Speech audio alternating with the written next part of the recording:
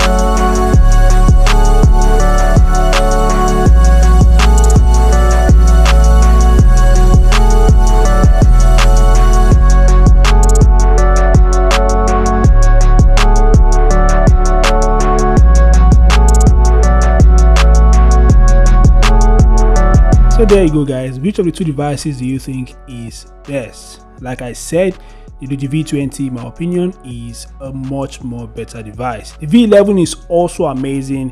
It has a 65 watts fast charging. The first rugged device to have a 65 watts fast charging is the Doogee V11. Its fast charging speed is better than the Doogee V20, no doubt about that. Share your thoughts in the comment section below which of the two devices you think is best. Make sure to leave a like, subscribe to the channel. Thanks for watching and I'll see you guys in the next one. Peace out.